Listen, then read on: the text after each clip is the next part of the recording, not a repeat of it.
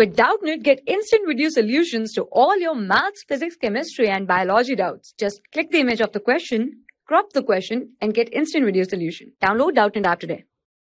Hello students, so the question is a rod of uniform cross-sectional area 5 millimeter square weighing 5 kg and length 1 meter is suspended vertically from a fixed support.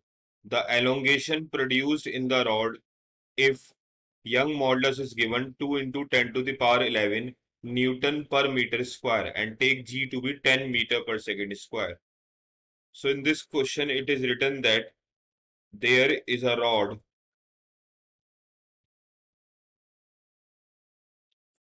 there is a rod hanging vertically and its weight act vertically downwards that is mg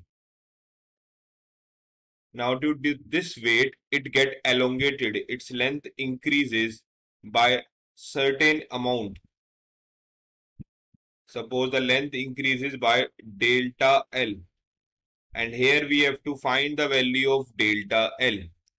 That is the elongation.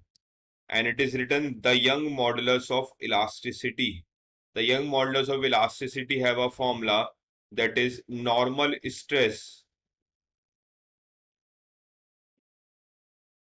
upon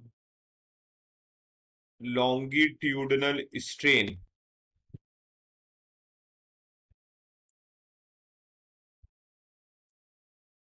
So here the normal stress will be force upon area and force will be the weight of the rod. That is mg upon a L by delta L. So in our question, the value of mg is given, young modulus is also given, that is 2 into 10 to the power 11. m is given 5g is taken to be 10. Length is given 1 meter. And area is given 5 millimeter square. 5 into 10 to the power minus 6. And we have to find here delta L. So on solving here, cancelling 5 with this one, we get delta L to be equal to 1 upon 2 into 10 to the power. That will be equal to minus 4 or you can say 0.5 into 10 to the power minus 4 or you can say it will be equal to 0.05 millimeter So the correct answer is option 1. Thank you. For class 6 to 12, IIT JEE and NEET level. Trusted by more than 5 crore students. Download Doubtnut app today.